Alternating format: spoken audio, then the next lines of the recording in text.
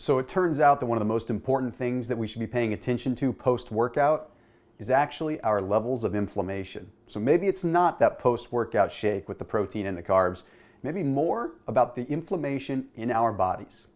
You see, by and large, exercise reduces inflammation. Okay, it does this over a period of time simply because the reduction of adipocytes, basically a fancy way of saying fat cells. It's been pretty well known that fat cells cause inflammation. So, of course, if we're reducing fat cells, we're going to reduce inflammation. So, that's what the mainstream will tell you that exercising reduces inflammation. And it's not incorrect. But there's another side to the equation, and it has to do with the inflammation that increases directly after a workout. That's right, inflammation actually increases after a workout. Mind blown.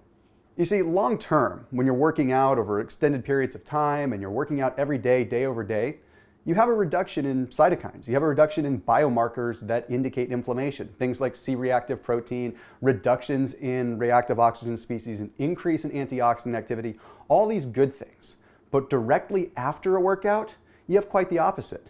You have an increase in C reactive protein. You have an increase in reactive oxygen species and oxidative stress on the body. And you have an increase in leukocyte activity, meaning an increase in white blood cells. What does that simply mean in human terms? It means that your immune system is on high alert after a workout. You see, it has to do with two very important words. One is acute and one is chronic. You see, acute exercise is the short bout of exercise, looking at it day in and day out, today's workout. Chronic exercise is the big picture. This week, this month, how long have you been working out? How long have you been a healthy person? You see that acute exercise, the acute response is inflammation. And I'll explain exactly why and how it works.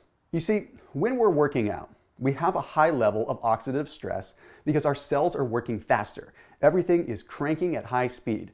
So what would normally be a nice little system that your body can keep up with, your body can't keep up with. So you have a high level of oxidative stress.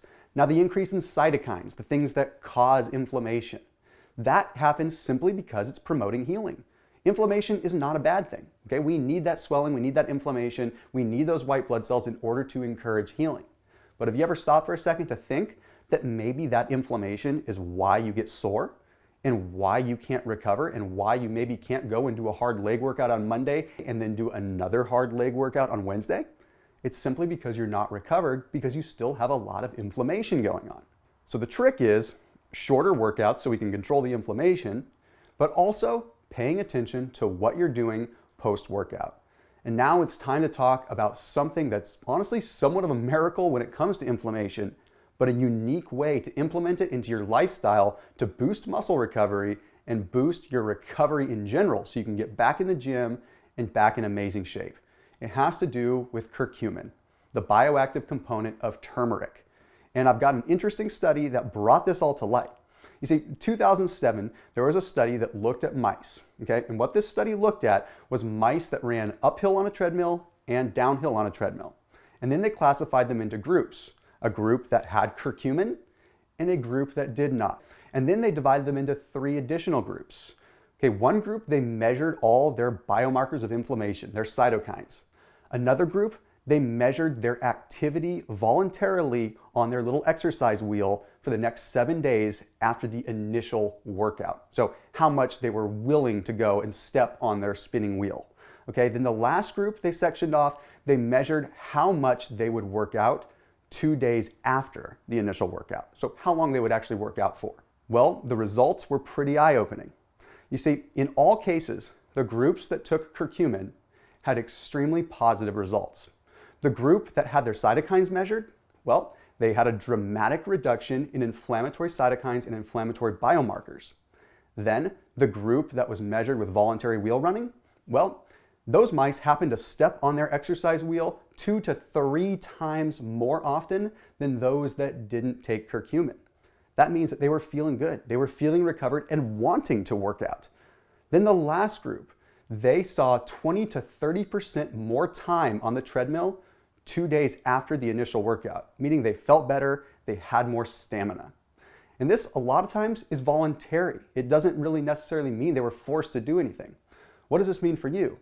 It means that if inflammation is reduced after a workout, you are more than likely to go back into the gym and get a better workout, which means more workout cycles, which means more recovery, which means more fat burning, more muscle building, more feeling good.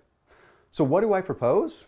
Well, I essentially propose, based on this hypothesis, that you can reduce inflammation by taking some turmeric, that you start adding turmeric or curcumin to your post workout shakes or your post workout meal. I think it needs to become mainstream that we start adding these things to our post workout meals more so, more importantly, than getting the right carbs or getting the right kind of protein. Because at the end of the day, inflammation is the root of disease. It's the root of everything. It's the root of our health and the root of who we are. So as always, keep it locked in here. Make sure to hit that share button. Make sure to subscribe. And if you have any other ideas on videos, particularly surrounding inflammation or turmeric, post them in the comment section below. That way we can be sure to check them out and create some videos customized for you. See you in the next video.